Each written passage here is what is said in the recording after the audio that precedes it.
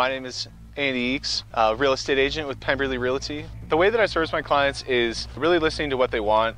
It starts with our first conversation, talking about the property that they're looking for, the style, whether it's an investment, whether it's you know their first home, whether it's a step-up home, and then from there, my my job really is to uh, determine the value of the properties that they want.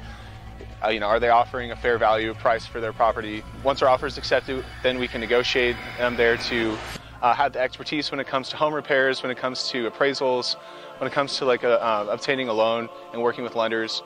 And uh, you know, I, I, guide them step by step throughout the entire process, all the way until we close and get the keys. And, and that's the uh, the best part. All right, where's my whiskey? Uh, my name is Kevin Waller, and I just joined uh, Pemberley about a week ago. Besides being honest with them, I also make sure I put their needs first.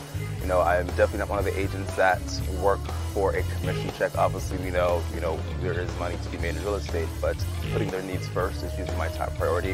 Are we all good now? Can I, can I go eat? Are we good? Um, my name is Juan Castillo Lopez, and I'm a realtor at Pemberley Realty. I satisfy my clients by um, always being communicative, um, knowledgeable, and always available. Oh, wait, where's my mask? Oh, there it is.